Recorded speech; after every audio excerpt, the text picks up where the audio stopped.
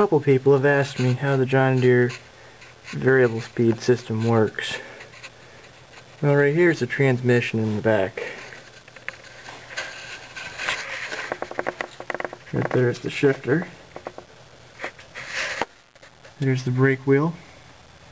It's always good to have a fuel filter. That's where mine is.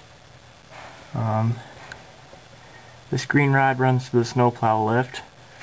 Right here where that hook is, that's where the lift links for the mower deck attach. There's one right here too. And then this big spring right here. This spring keeps tension on the variator.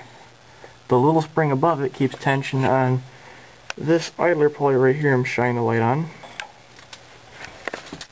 And the pulley on this tractor that makes all the noise is this one.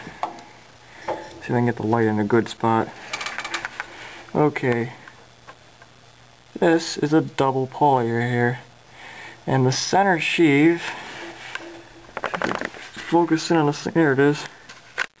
Okay, that center sheave can actually move left and right, changing the belt ratio. Right now, it's set for maximum speed.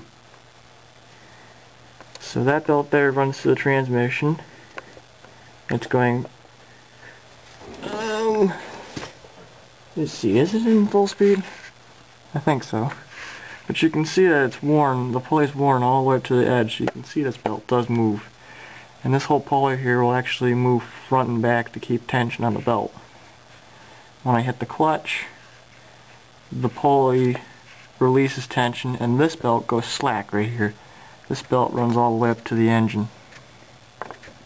Right there you can see it's attached just right there behind the mower clutch. And somebody asked, where do you get the, where do you drain the oil out of a 210? Right there. Not very complicated, folks.